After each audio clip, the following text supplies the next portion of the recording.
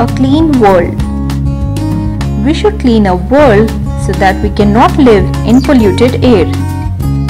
Pollution is very harmful to the environment, be it water pollution, air pollution or land pollution.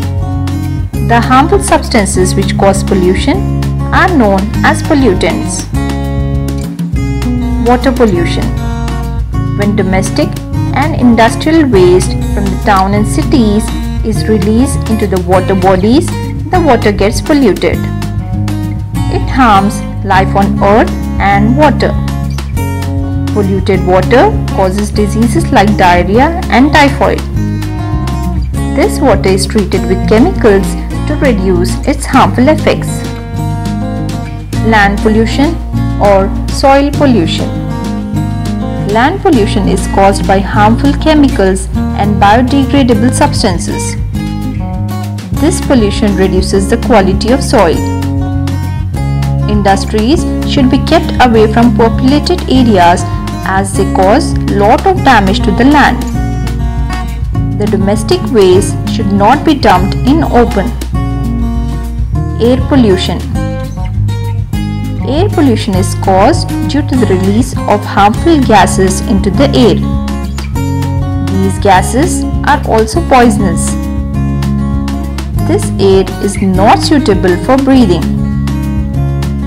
Industries and vehicles are responsible for air pollution. We can keep a check on air pollution by using environment friendly fuels like CNG and LPG. Waste disposal. The waste should be disposed in covered dustbin and garbage dumps. Solid waste should not be thrown in open and wastewater from houses should be connected to the underground pipelines. Natural manures should be used instead of chemical fertilizers.